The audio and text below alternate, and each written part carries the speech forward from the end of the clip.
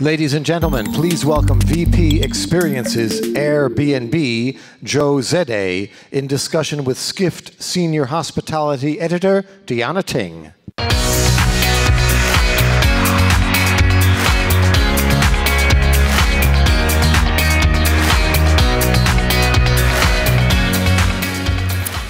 Thanks, everyone. Um, so JoeBot, as he's known at Airbnb. Yes, they call me JoeBot, like the robot. yes, and throughout the valley and the industry as a whole, um, has the distinction of being Airbnb's longest tenured employee. Uh, JoeBot joined Airbnb in 2010 as a software engineer and in 2017, he became the head of Airbnb experiences. Uh, again, I want to remind the audience to please feel free to submit any questions that you have for JoeBot using slido.com slash skift or by using our event app. Um, so JoeBot, thank you so much for being here. Thanks for having me. Um, I wanted to ask you, you've been at Airbnb for quite some time. Almost nine years, yeah. Yes. so when the idea for what would eventually become experiences was first floated around at the company, what were your immediate thoughts? Like, and how did that sort of come to mind, even? Uh, I mean, uh, several years ago, we had this idea that you know, what's Airbnb going to do next? Are we going to do, you know, car sharing, drill sharing? We, you know, thought a lot about it, and we thought Airbnb should provide the end-to-end trip, all parts of travel. So not just the homes, but also what you do. And if you think about even some of the first times even the founders hosted on Airbnb, a lot of those things were actually experiences where we uh, really brought people into the community. We really you know, showed them around and stuff like that. And a lot of our hosts were already doing this, so it kind of just seemed very natural. In fact, it even seemed uh, even more easy and more natural than the original concept of staying in a, someone's home. Mm-hmm. Did you ever think that you would be the head of this product? No, I, I, I mean, I, in a previous life, I was a research scientist, a scientist, so like, I never thought I'd be in the travel industry, but it's really fun. what, what sort of prompted Airbnb to, to name you head of experiences, or how did you sort of get there? Uh, well, so, as you mentioned, I started as a software engineer uh, when we were just nine employees uh, working out of an apartment. Mm-hmm. Um, and over time, I transitioned to product. I led product management for about five or six years. Mm-hmm. And during that time was when we were really deciding how can we move beyond homes into other stuff. And uh, Brian, our CEO, and I put a little team together and we started working on this idea of what, is, what would it be like to design the perfect trip for somebody from end to end. And from that um, uh, came experiences. And they originally started as longer multi-day right, there experiences. There were the two different types, or the yeah. immersions and then... Yeah, immersions were two to three day trips that, um, you know, maybe you go to France, you take a perfume class for two days, or you go to LA and do, uh, you know, astrophotography for two days. More like package travel. Almost. Exactly. Mm-hmm. Um, but they, uh, you know, they didn't really resonate out of the gate with our consumers, and so we quickly moved to shorter, snackable experiences and kind of, um, kind of just blew up. Mm-hmm. Great.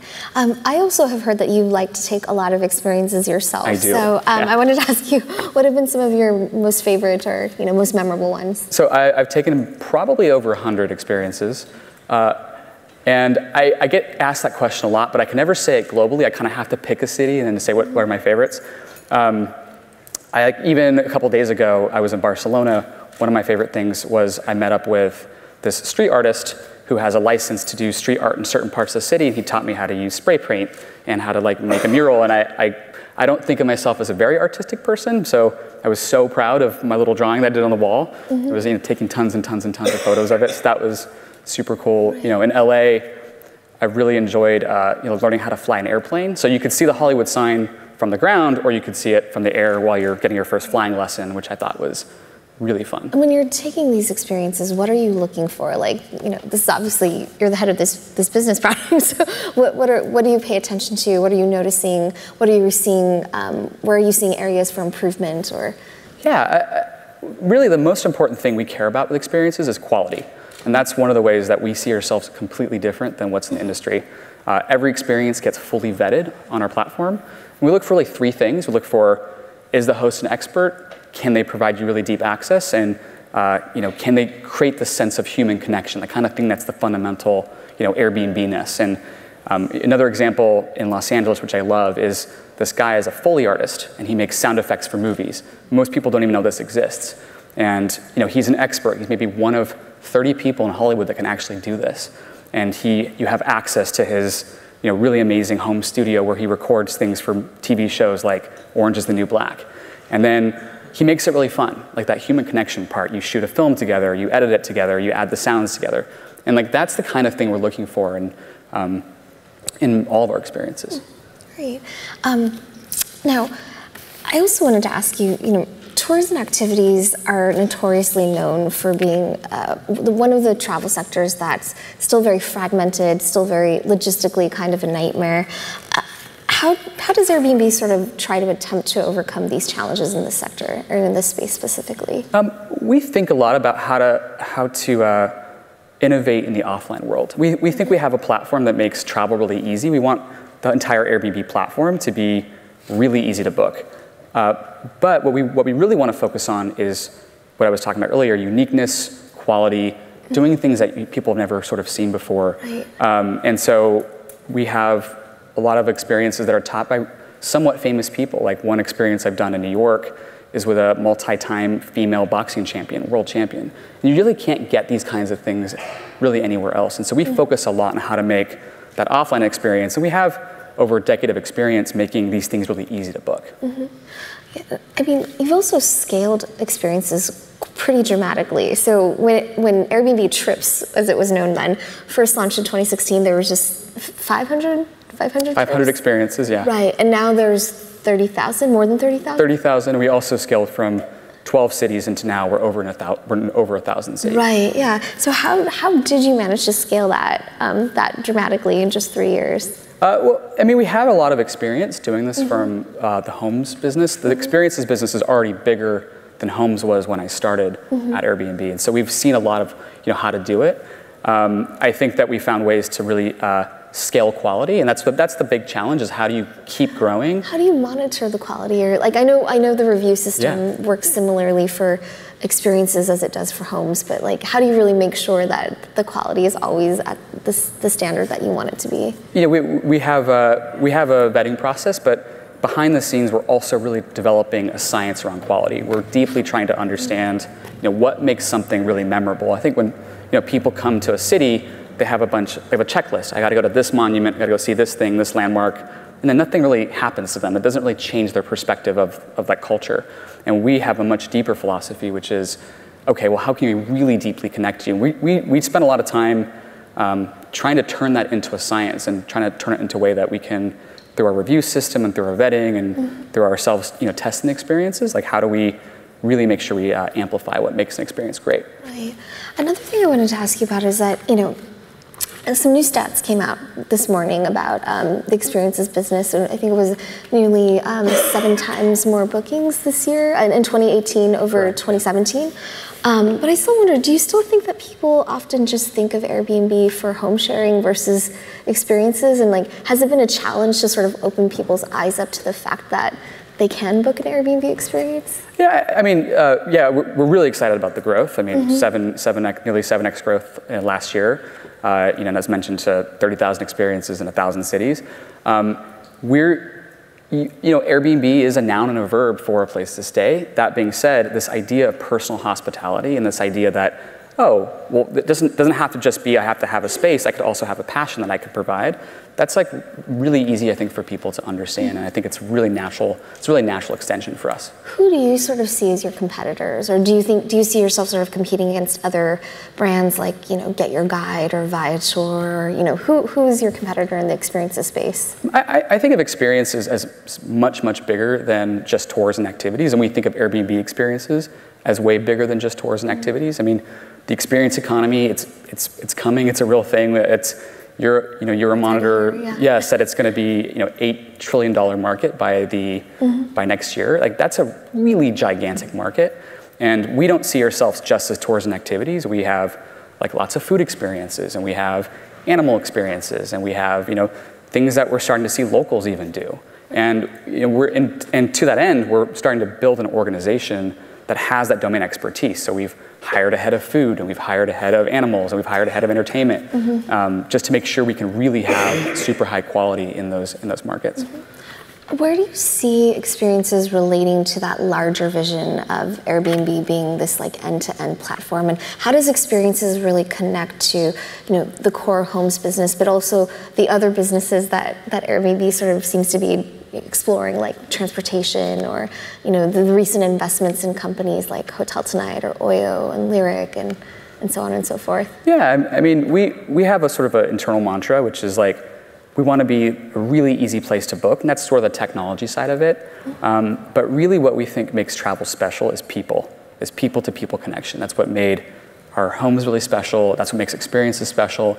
And you know, everything we do, we want to have some element of you're connecting with a local. And even when you're traveling in a home, if you're not, even if the host is not there, you're still you know, connecting with their space. And I, and I think you're seeing uh, the city through the eyes of a local. And that's kind of the thing that will always tie this entire platform together. Right. It's definitely one thing to sort of um, have a host who hosts you in their home or um, but it's also another thing to have a host who kind of leads you on a tour and activity. And I was wondering, with the experiences hosts in particular, what do you do to really ensure that, that Airbnb has a good relationship with them, that they feel you know valued, that um, but that you're also you know ensuring the quality of, of the, the tours that they're leading? Um, what, what's that relationship like, and yeah, how do you manage it? And this is something we also learned from from our homes business Mm-hmm. is we really focus on community and getting to know our community. Uh, like I mentioned, I do I've done I do about one experience a week if I can. I, I do it in my own city if I if I'm not traveling.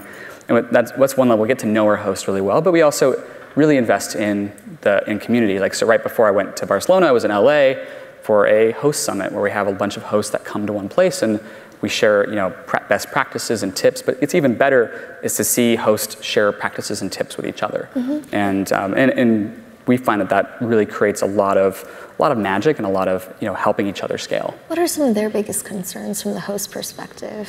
Um, you know, I, I think that they also want to make sure that we have super high quality as we grow. I mean, I think they all feel like they're part of something really special. And, you know, and we've been growing very, very fast. We grew, as I mentioned, 7x, 7x last year. They see it too, and they just want to make sure that as we grow, that we'll, you know, keep our commitment to really high quality. Mm-hmm. Would you say that quality is probably one of the biggest challenges that the experiences business faces, or what are some other challenges? Well, I mean, qual- quality is a really interesting one because you know we, we do vet a lot of our experiences, and not all of our experiences, not most experiences that come to the platform don't actually make it live the first time. We have to sometimes give them feedback about how to improve it, and so we ha- we have made that choice to say we want to focus on something uh, really special that that you can't do anywhere else. And what I'm hoping we, we create is something where uh, you go you get a chance to go deeper. And so instead of just having a tour of Fisherman's Wharf, which is like a very very you know touristy place in San Francisco, we have the fishmonger's view of Fisherman's Wharf, where someone takes you behind the scenes into the commercial fisheries, and you're standing in freezers where the commercial fisheries are you know preparing the fish to sell. And it's just we want to really push um, our community to do stuff like that. And I think having that approach means that yeah, you're gonna you're gonna say no to a lot of stuff that, that could be a lot easier to get on the platform.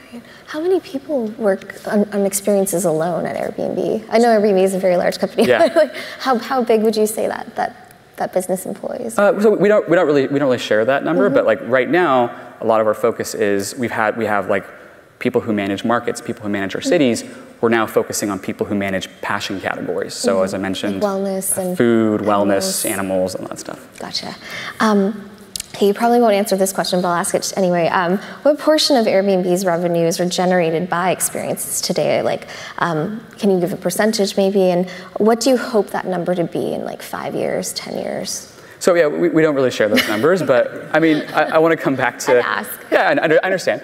Uh, I want to come back to how big the opportunity is. Mm-hmm. And you know, uh, what's potentially an eight trillion dollar industry. It's uh, and it's more than just tours and activities. It's potentially all spend and market while traveling. It's locals. It's it's gigantic, and we think this is Mm-hmm. a very very big opportunity. Right, yeah, definitely. Do you still f- do you feel like uh, like myself and some of my colleagues at, at Skift do that that tours and activities are sort of like the next frontier or the next space in travel that's really ripe for reinvention and more innovation in the space? Or? Yeah, absolutely. And as I said, I think the innovation is less on okay, how do I make how do I book it in you know three Yeah. seconds instead of five seconds. That- that's not the innovation. I think the innovation is how can you take people much deeper and how can you give people things that they didn't even know existed. Like internally, we have this uh, this Slack channel where we look at some of the most interesting stuff that's coming on the platform. So it's, it's really it's really fun to watch. So it's like you can be a mermaid for a day. Like how is that even possible? like learn how to eat fire. Like fly a World War II airplane. It, it's just like all these things never really existed, but now It's like the yeah. specialization of it, right? Or- Yeah, and we're not just niche stuff, but we have like you know very very broad. We have lots of food, and but I mean back to back to your question, it's not just travel that's going through this shift. It's it's the world is going through the shift away from things and more into experiences, and that's why it's a really special time. Uh, Do you guys have any numbers on on sort of how many people who are booking experiences are doing so when they travel versus locals, or like you know, just to book an experience just because I have a free weekend and I, I want to do something in, in my hometown, or So we, we don't have numbers on that, but it is. I'm hearing it more and more and more. Mm-hmm. I'm hearing more people come and say, "Oh yeah, this makes a great date night. This mm-hmm. makes a great thing to do with my kids." And we're starting to see a lot of that, and we're starting to see a lot of our home bookers uh, add more experiences. And so in the last year, a lot of our growth came from you know 3x more home bookers were also adding an experience, and so it's resonating with them too. And I like to think that they go and they travel and they try these experiences and they ask, "Well, couldn't I do this in my own home market, especially if they're high quality?" And you know the answer is yes. Right. Okay, interesting.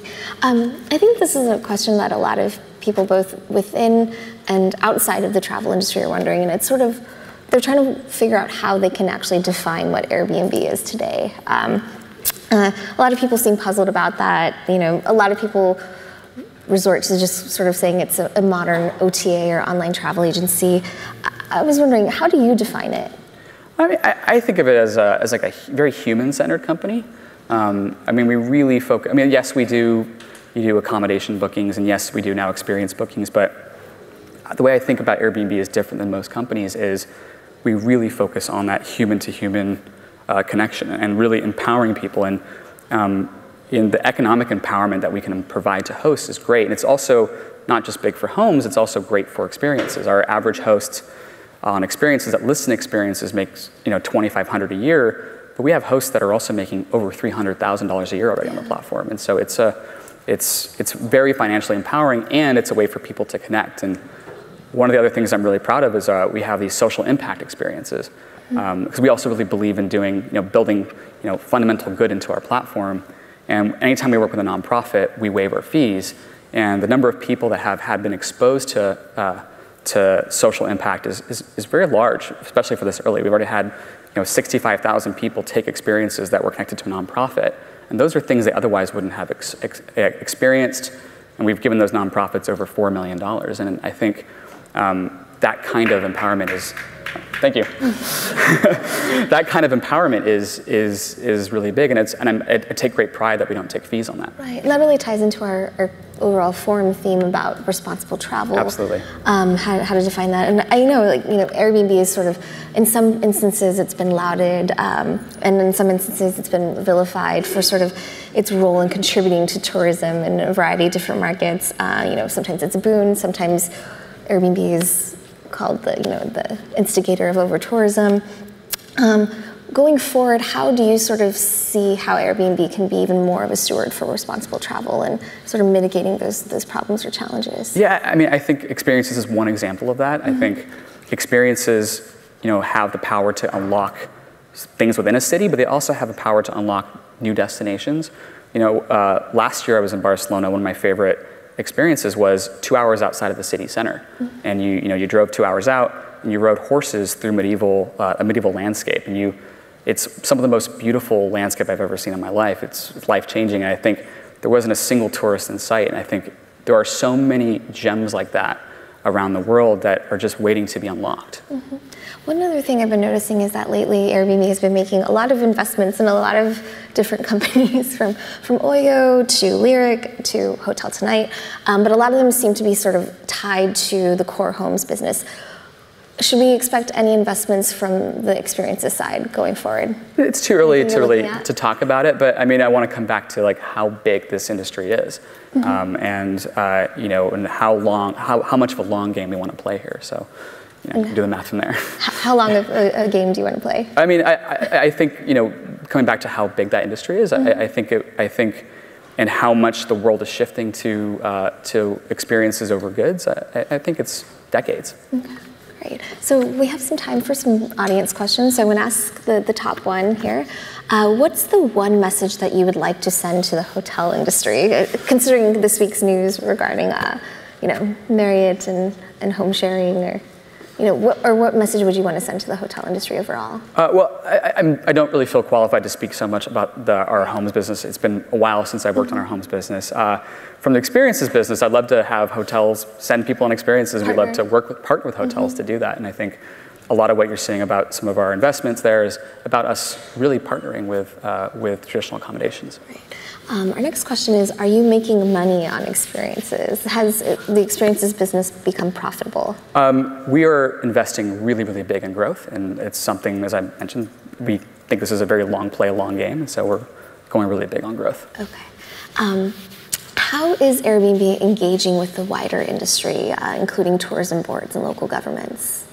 Um, we're really excited about this, especially on experiences. We've been partnering with many DMOs, and uh, and how to help unlock experiences in their destinations. And we even had a partnership with Visit Britain. Mm-hmm. Uh, we had a partnership with the state of Utah in the United States. And uh, I'm finding that governments are really excited about experiences because it gives everyday people access to additional income. Right. Um, so there seems to be a lot missing for Airbnb to cover the full end-to-end experience. What new stuff will we see in, in 2019 and 2020? Uh, there's going to be uh, a lot so more. Transportation to, is one. We, we hired a head of transportation. Yes. Uh, I think even within these existing businesses like experiences, you'll see a lot from experiences. I mentioned, I mentioned a couple categories of experiences like food, but we think there's probably hundreds of subcategories of experiences that can each one sort of be reimagined, and mm-hmm. like a lot of those will feel like almost like distinct businesses. Um, and uh, you know, you've been seeing stuff like our magazine. You've been seeing uh, the you media we, investments. Uh, yeah, we had our we had our um, you know uh, movie premiere yesterday with Tribeca. Like all that stuff is uh, is kind of uh, the future. But at the end of the day, it's how do we tie together the best possible trip? And we think the best possible trip is one that almost changes you in some ways, transformative, as cliche as that sounds. Yeah, one thing I was wondering about is, um, have you, has Resy been sort of connected into experiences and somehow with the, the restaurant reservations, or is that still sort of its own entity? It's, it's, it's, a, it's a bit separate, uh, but we have done uh, like food experiences with Resy, they're really great at uh, one thing I love about Resy is they're really great about knowing food very well, um, and uh, they have restaurant reservations on our platform. Yeah. Um, so next question is, where is Airbnb on the air travel proposition, and do you foresee further tie-ups with loyalty programs, or do you have an update on the loyalty program? I, I, have nothing, I have nothing to say about either of those. I, it's not really my wheelhouse. Okay. Um, I guess our next question, wow, there are quite a few questions. Um, what is the conversion rate on the Airbnb website? Uh, something I cannot share or know, depending on what you're talking about. So sorry. no okay. Well, this sort of uh, yeah. leads to what we already discussed. But you know, how do you sort of see this this new investment in the media division really contributing to the overall company strategy? Yeah. And, and how can how can it be used specifically for the experiences business? I, I think it's I think it's really really early on the experiences side we've been seeing that, uh, that media is really, really great for experiences. I, I think, you know, check out our Instagram. We have some really beautiful, almost like mini documentaries that we can shoot around experiences because we have some of the most interesting people in the world. That, that Foley artist I mentioned, we have a little like 90 minute Instagram TV uh, episode you can watch, sorry, 90, 90 second Instagram TV thing you can watch. And, you know, we, you can watch something about going deep into the Cuban music scene. And we think that uh, content and experiences are really work very well together, and you'll probably see a lot more from us on that. Great. We can't wait to see that. And yeah. thank you so much, Charlotte, for joining Thanks so much us. for having me. Thanks.